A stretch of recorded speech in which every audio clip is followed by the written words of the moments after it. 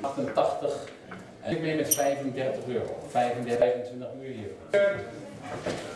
160, 170, 180, 120 euro. Wie biedt er beter? Het is eh, een kannetje. Een kannetje van Klaas Gubbels. Ik zie ook echt dat u er heel blij mee bent. Ja, dat is ook zo. Ja, ja, dat vind ik echt heel leuk. Wat vindt u zo leuk? Ja, nou, ik vind zijn werk heel mooi. En eh, ja, kannetjes horen natuurlijk toch bij Klaas Gubbels. Dus ja,